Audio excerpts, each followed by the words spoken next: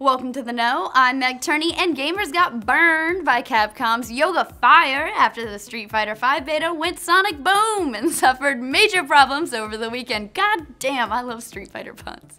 The beta was initially opened on Thursday evening, but by Thursday night it had disappeared, and the Street Fighter Twitter posted, We've brought the servers down for temporary fixes as of 7.25 p.m. Pacific Standard Time.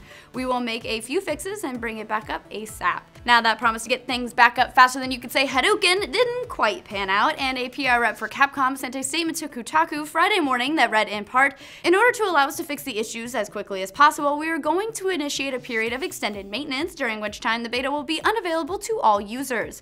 We will let you know the date on which the closed beta test will reopen once all problems have been fixed. Now for North America only, that day came on Saturday, when the beta went back online briefly, but during its time up, it suffered a multitude of connectivity problems until it was gone for good, once again, for scheduled maintenance.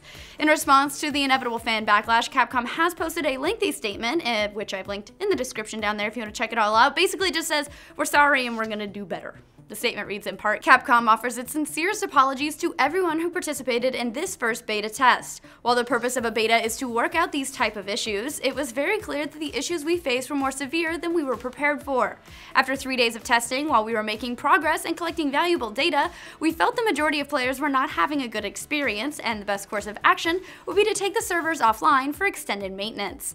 We will be postponing our first beta phase until we believe the experience is going to be a positive one for players. Now, they go on to say that they won't count this weekend in their projected three beta periods prior to Street Fighter V's launch, so that's good news. And also that they wish to apologize especially to fans outside of North America who were shut out completely to make room on the servers. They've also promised a little something to make it up to all of their fans, writing, additionally, we are working on a worthwhile in-game incentive for the players that participated in the first beta test.